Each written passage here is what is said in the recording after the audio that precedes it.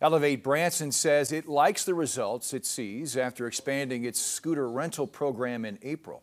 Instead of just offering the service to employees at partnering businesses, they offered it to all qualified Branson residents. And that could continue in the future. KOLR 10's Parker Paget is live in Branson after speaking to the person running the program, to a business owner, and to a woman who says that program has changed her life.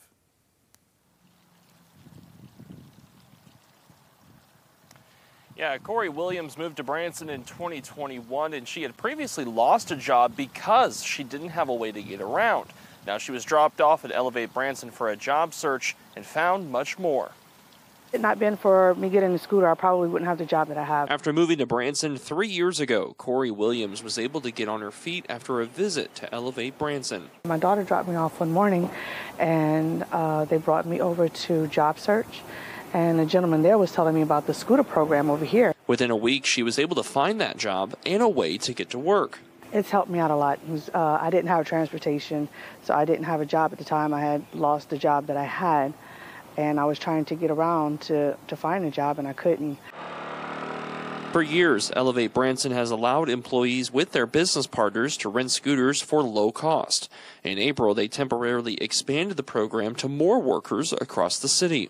We open that up to anyone that works 30 consecutive days at 22 hours a week as long as they're insurable and have a driver's license. Katie Sandage with Elevate Branson says the program allows a person to rent or own a scooter for less than the price of a daily cab or Uber fares. They've reported back things such as getting better housing, getting engaged, promotions. They're showing their bosses that they're able to get to work and they are a great employee. And with this scooter, they're able to do that. Employers like Craig Martin say the program has helped reduce turnover with employees and boosted morale. It, it definitely helped them go from having to be stressed all the time and not having that reliable transportation to, to being confident, knowing that they could rely, from them, or rely upon themselves to, to be able to provide for themselves, to be able to be part of the team, be part of the company, um, all the things that come from having a transportation.